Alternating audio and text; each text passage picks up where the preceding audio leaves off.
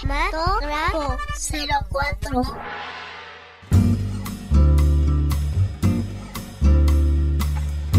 Hoy en el episodio 107 de Cinematógrafo 04 le hablo de la cinta Ágora, dirigida por Alejandro Amenábar en 2009.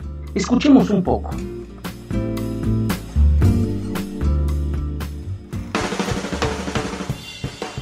A reserva de la opinión que muchos de sus fanáticos pueden tener de su extraordinaria carrera como director, generando éxitos taquilleros e influyendo en diversas sociedades, Alejandro Amenábar nos queda de ver en la entrega de Ágora, que se ubica en el año 391 de nuestra era y se apoya en un amor platónico de dos colaboradores por una astrónoma para ofrecernos una visión de la caída del Imperio Romano.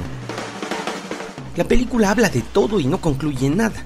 Esto es, que Amenábar está tan enfocado en explicar detalles de las revueltas cristianas contra los monumentos y las autoridades romanas que deja de lado los detalles verdaderamente finos de este amor platónico, que según el argumento es la línea estructural del filme, por lo que divaga en tantos acontecimientos que no llega a enfocarse en ninguno.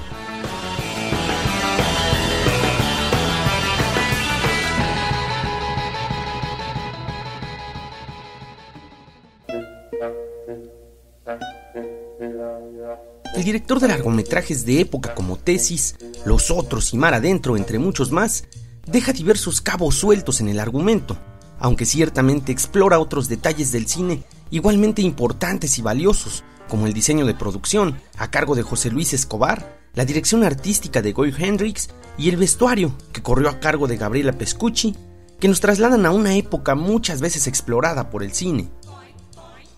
En lo que actuación se refiere, habrá que ponerle una estrellita a Raquel Weisz, quien interpreta el papel de Hipatia, la astrónoma y defensora del conocimiento, que materialmente se transforma en la pantalla, digna elección de la actriz realizada por Amenábar, aunque los dos coestelares, Max Miguela y Oscar Isaac, esclavo y colaborador de la científica respectivamente, no muestran nada destacado.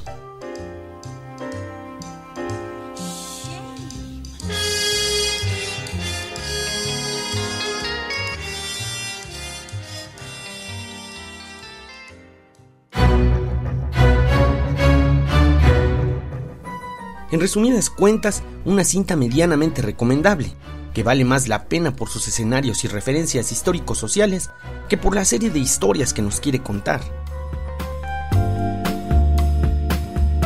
Lo invito a darle like a este episodio y seguirme en su aplicación de podcast favorito.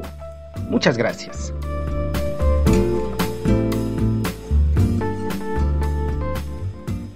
Mi nombre es Héctor Trejo y solo le recuerdo que la imaginación se disfruta más en la oscuridad del cine, así que no deje de asistir a su sala favorita.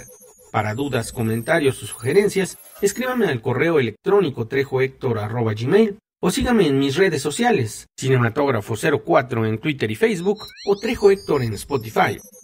Muchas gracias.